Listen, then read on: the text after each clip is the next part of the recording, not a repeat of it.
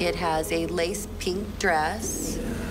It's a bit creepy once you know where the doll came from. It gives me the heebie-jeebies.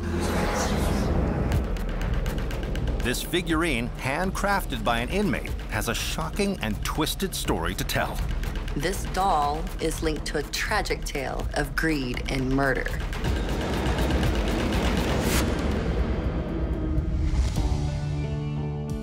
It's October 17, 1930, in Denver, Colorado.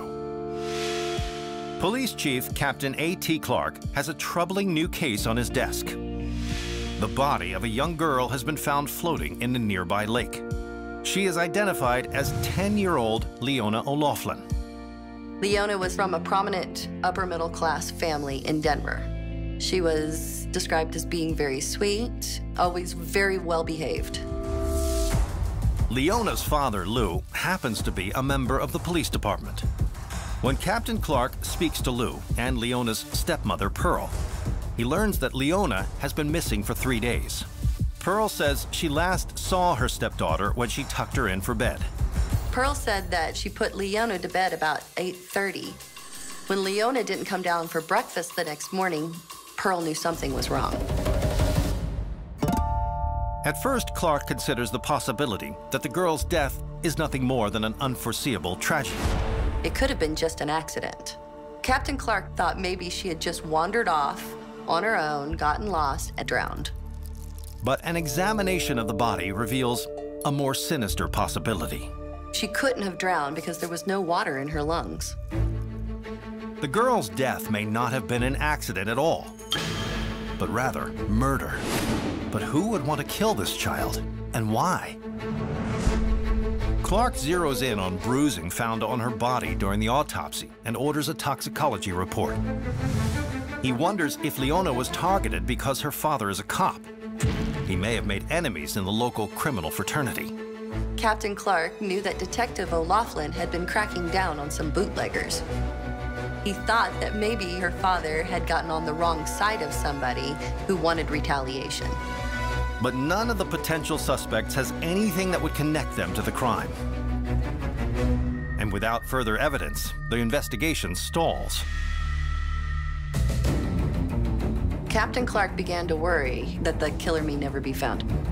Then the toxicology report comes back with an astonishing clue that will crack the case wide open in the strangest of ways.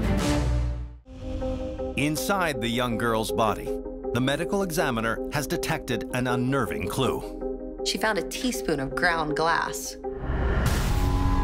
Then, as Clark tries to figure out how the girl would have ingested glass, he gets a call from Leona's grandfather. Leona's grandfather came forward with his own shocking new evidence. According to Dennis O'Laughlin, a few weeks earlier, he had noticed something strange at his son Leo's house when he ate a spoonful of sugar. The grandfather realized immediately that the texture of the sugar was off. So he spit it in the sink, poured some water on it, and was shocked to see that some of it didn't dissolve. Confused by this discovery, he saved some of the granules. And when Captain Clark has them examined, he finds the key piece of evidence.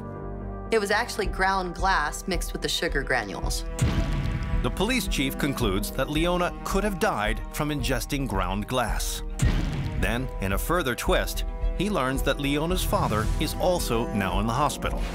Not long after she disappeared, Leo fell violently ill. In fact, there is only one person in the household who hasn't fallen sick. Leona's stepmother. Captain Clark brought in Pearl for questioning. After hours of intense scrutiny, Pearl finally cracked and confessed.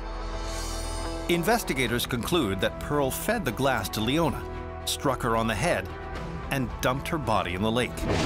Pearl O'Laughlin is charged with poisoning her husband and murdering her stepdaughter. And as for motive, she was after the family's money.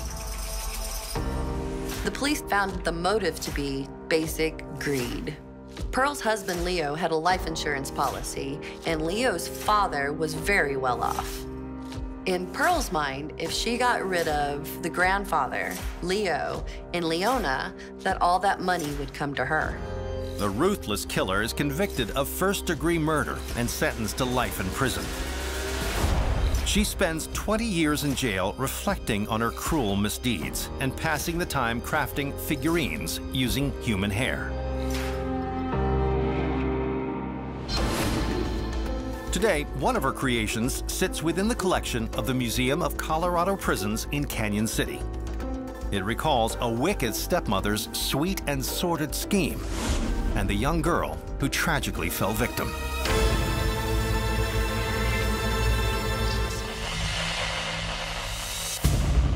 This 1940s-era radio receiver is connected to a chilling tale that has terrified sailors for decades. This is a story about a ghost ship on the high seas.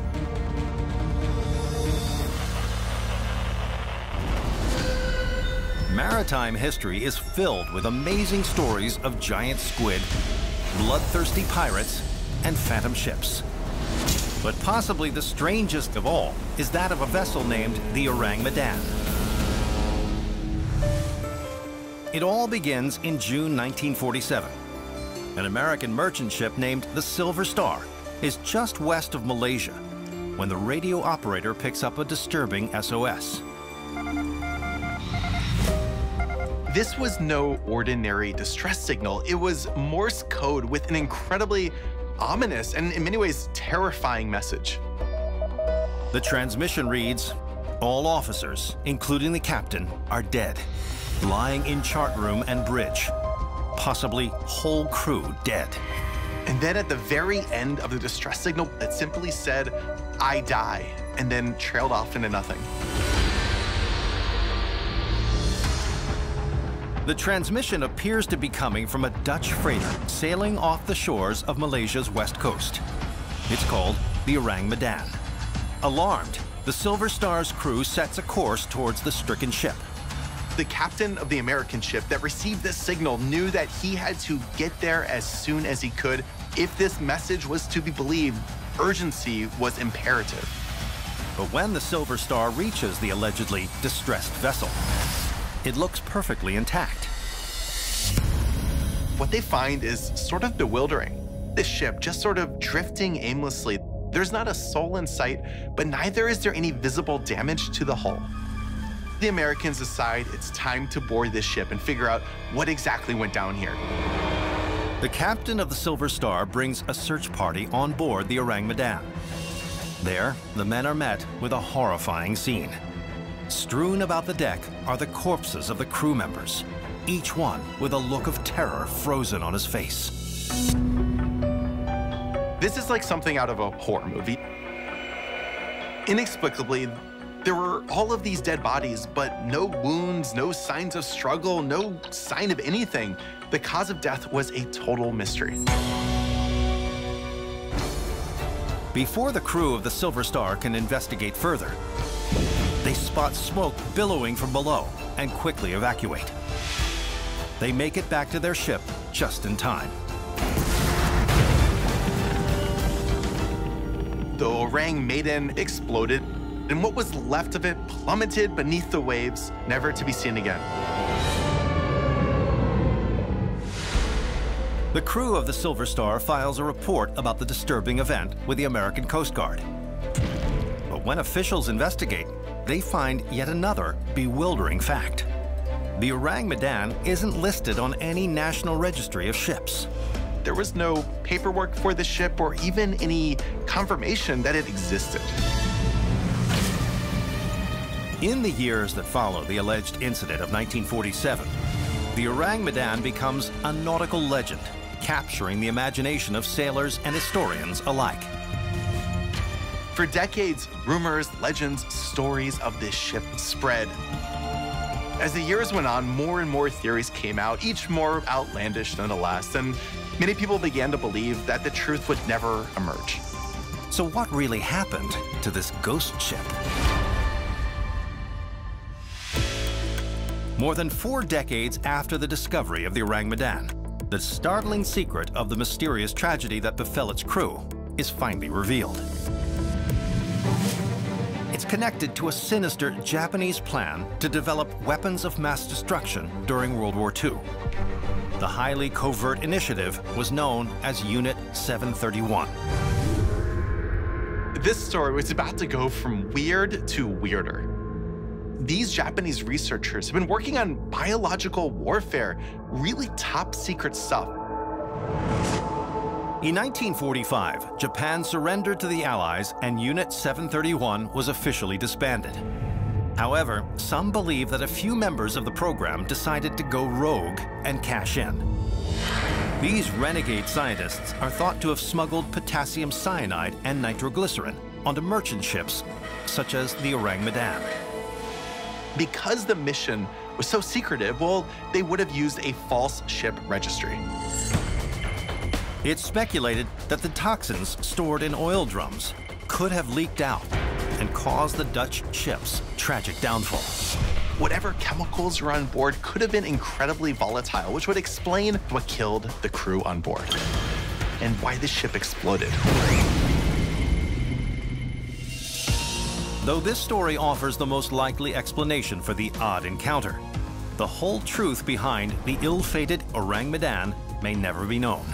It's understandable why this mystery has lingered. I mean, this is the stuff of nightmares. Despite years of research, nobody has been able to prove conclusively that this ship even existed. Today, this Morse radio receiver, just like the one used to pick up the Orang Medan's distress signal, is on display at the New Jersey Maritime Museum in Beach Haven.